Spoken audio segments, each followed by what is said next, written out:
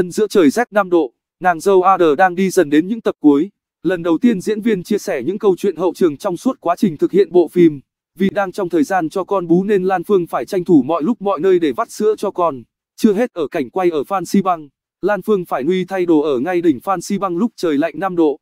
Quay 15 đến 16 tiếng mỗi ngày, về nhà chăm con, cho con bú đêm rồi lại dậy lúc 5 đến 6 giờ sáng hôm sau nên nhiều hôm đến đoàn phim Lan Phương hòa khóc nức nở vì quá mệt.